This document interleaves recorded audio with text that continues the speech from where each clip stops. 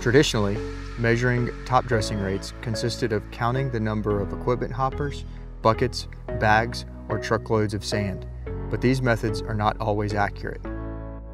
The measurement of total tons per acre accounts for overthrow on non-putting surfaces, which can result in an inadequate rate for top dressing putting greens.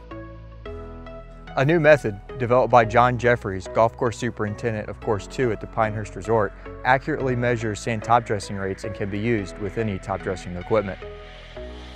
To get started, you'll need top dressing application equipment such as material handlers and push spreaders, a large oil or baking pan, Ink-A-Mat cut to fit the bottom of the pan, a scale, and of course, top dressing sand. To begin, weigh the pan and Ink-A-Mat together and record the weight. The Ink-A-Mat is used to help catch sand in the metal pan. Then, lay the pan and Ink-A-Mat down on the putting surface and conduct your typical sand top dressing procedure across the green and pan.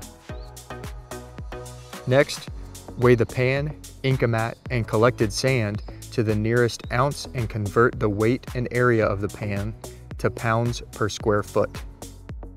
You'll need to repeat this process three times to calculate an accurate average sand top dressing rate. This calibration procedure should be repeated for each top dressing rate and equipment setting. Record the application rates for easy reference. Simple, right? Now you're able to accurately calculate sand application rates and determine annual sand totals.